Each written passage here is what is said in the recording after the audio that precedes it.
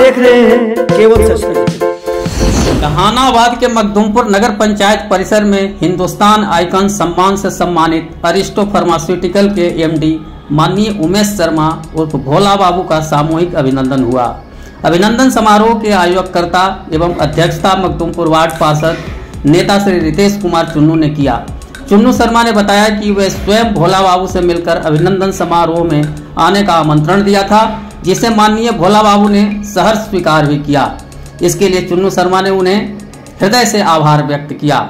माननीय भोला शर्मा ने अपने वक्तव्य में कहा कि मैं मखदूमपुर नगर पंचायत ही नहीं, पूरे मखदूमपुर ग्राम पंचायत में जितना भी विकास कर सकता हूँ, करूँगा। यथा सोलर लाइट, पानी की समस्या का निराकरण, नाली की व्यवस्था। उन्होंने चुन्नू शर्मा के अनुरोध पर एक मैरिज हॉल देने का तुरंत निर्णय भी लिया।